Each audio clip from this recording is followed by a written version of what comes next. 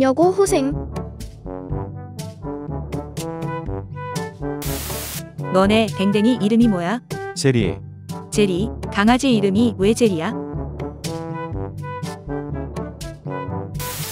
아이씨, 라는 말이 무심코 튀어나오면 뒤에 때루를 붙여 험악한 말을 피하는 편. 참 빨리도 확인하시네요. 그 말에 정말 동의한다라는 문장을 좀 더 고급지게 표현하면 뭘까? 뭐 떠오르는 게 없다. 과인이 듣기에도 참으로 흡족하도다. 성은이 만극하옵니다. 전하.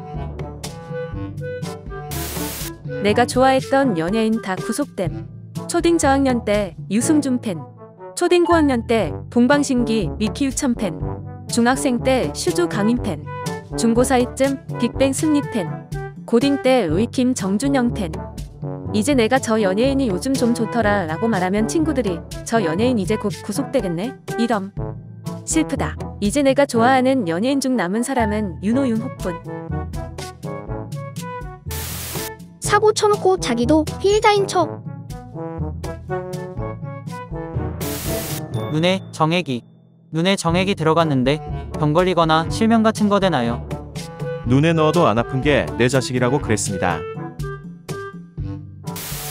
오늘 사촌 동생이랑 놀아주는데 나보고 바보라길래 바다의 보배라고? 아니, 바퀴벌레 보디가드? 왜 그러셨어요? 카펫 깔린 화장실.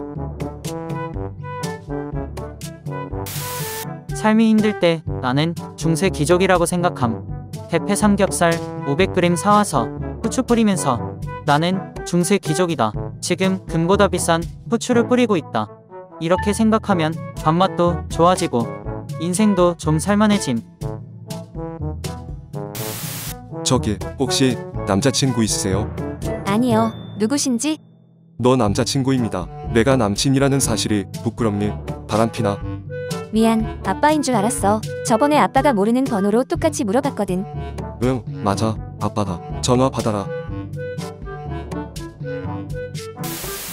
그래, 세 명이라고. 남친 생활력 보고 충격받았다. 남친 집에 전자레인지도 F도 없는데 피자 시켜 먹고 남은 식은 걸 데우지도 않고 오만상 쓰면서 먹는 거임.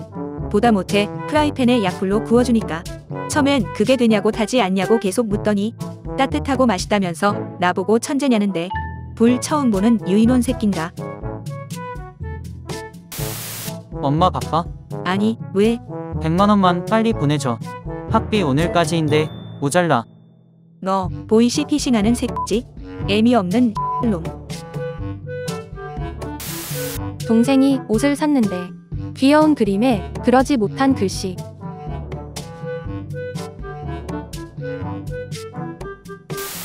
지하철 예수전도 아줌마. 여러분 예수 믿으라는 말 맨날 들으셔서 지겨우시죠? 하고 주의 환기를 시킨 다음에 언제까지 듣기만 하실 겁니까? 이젠 믿으셔야 합니다. 하는데 포스 개쩐다. 치료선의 그벨스. 나는 게이, 내 누나는 레즈비언이다. 하지만 우리 부모님은 매우 보수적인 편. 그래서 나는 누나 여자친구와 사귀는 척, 누나는 내 남자친구와 사귀는 척 한다. 만약 둘 다 우리 집에 놀러 왔다가 자고 가게 되면 부모님은 여자끼리, 남자끼리 자게 한다. 충격적인 뽀로로 근황. 시어머니 왜 이러셔? 남편 팽시라서 애기 내성 따르기로 했는데 쓰러지심. 물론 쓰러지는 척 한 거지만 뒷목 잡고 막 액션하셔.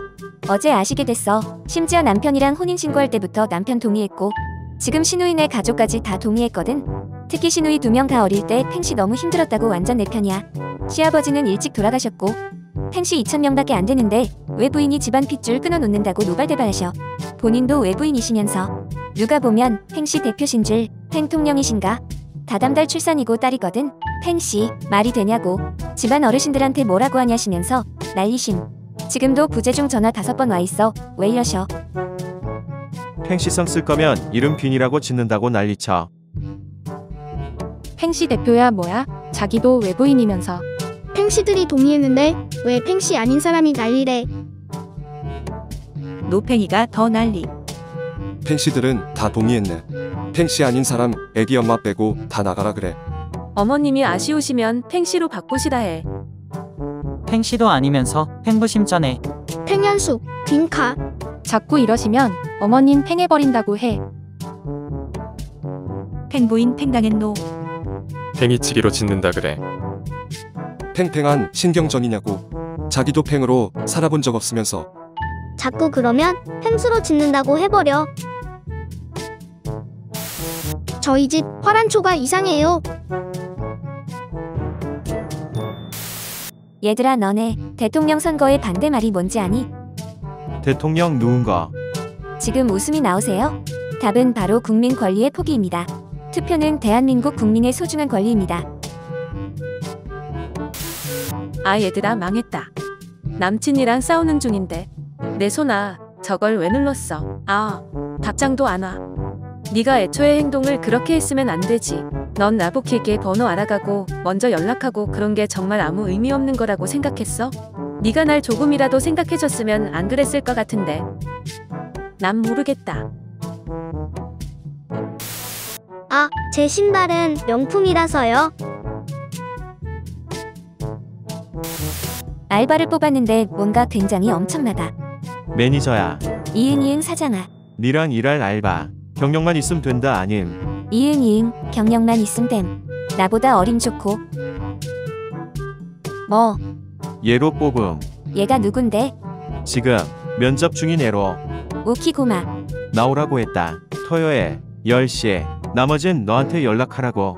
크스크스. 너 번호 줬음. 고마버. 나간다. 약속 있음 부부. 격쇼 격쇼 이따 봐. 이력서 금고 아래에 놈. 오킹 감사. 안녕하세 피카. 방금 면접 본 김말이라고 합니 피카. 뽑아주셔서 감대하 피카. 면접 볼 때 너무 떨려서 말도 제대로 못 해서 답답하진 않으셨 피카. 사장님이 너무너무 잘생기셔서 떨려서 그랬던 피카. 여자친구 당연히 있으시겠 피카? 없으시다면 좋은 인연 만들었으면 작은 바램이 있는 피카. 부담 갖지 마시고 지금 답 안 주셔도 되는 피카. 토요일이 빨리 왔으면 좋겠다 피카 피카. 같이 사이좋게 일하고 싶은 주. 멋있는 짤동 커피 사장님. 그때까지 안녕히 계시는 예. 본인의 웃긴 사연이나 직접 찍은 사진 등을 아래 이메일로 보내주시면 다음 무짤동 영상에 소개될 수 있습니다. 좋아요, 구독 부탁드려요. 끝까지 봐주셔서 땡킹!